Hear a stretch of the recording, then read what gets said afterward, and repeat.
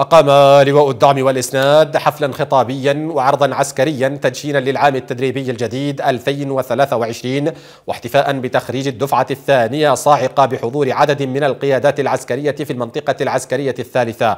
وألقي في الحفل العديد من الكلمات أشادت بجهود اللواء في تدريب وتأهيل منتسبيه وأكدت أن التأهيل والتدريب والروح المعنوية العالية هي السلاح الأقوى الذي يمتلكه منتسبو الجيش الوطني وحثت على استمرار الجاهزية القتالية واللياقة البدنية والاستعداد الفني لخوض معركة الحسم مع ميليشيا الانقلاب.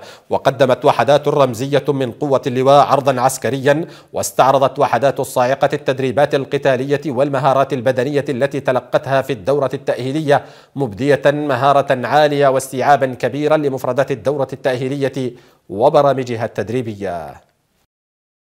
هذا اليوم وهو يوم تدشين لواء الدعم والإسناد لعام 2023 وتخرج الدفعة الثانية صاعقة. إذ نذكركم بأن هذا اللواء قد قدم الكثير ولا زال موجودا في الميدان.